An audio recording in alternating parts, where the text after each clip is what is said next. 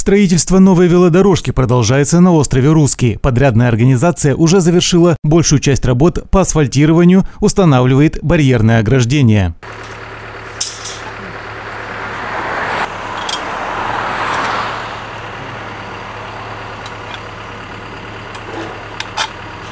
Велодорожка будет состоять из двух отрезков, соединенных между собой переходом. Первый участок длиной 1480 метров протянется от остановки ДВФУ «Южные ворота» до поворота к бухте Навик. Второй пройдет по другую сторону дороги до мыса Охлёстышева. Его длина 2600 метров. Новая велодорожка соединится с уже существующей на мысе Охлёстышева. Ее открытие планируется до конца августа, отметили в управлении городской среды. Олег Завьялов, Елизавета Драгомирова. Новости на восьмом.